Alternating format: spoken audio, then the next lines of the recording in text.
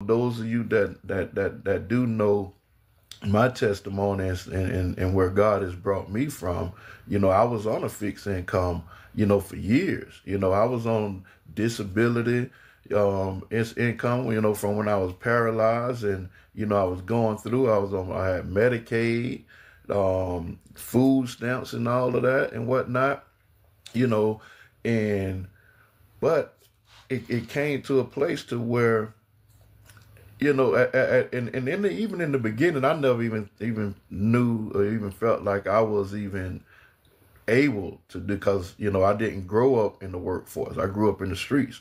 You know, thank God for my mom. My mom is the one that brought it to me, and she's the one that applied and everything, and and, and got me approved and whatnot. And it, it came in handy, especially um when I, I I had my turnaround in Christ you know, after um, losing my mind and everything and whatnot. And I got out of the, the, the, industry and what, you know, and all I had was to fall back on was that source of income.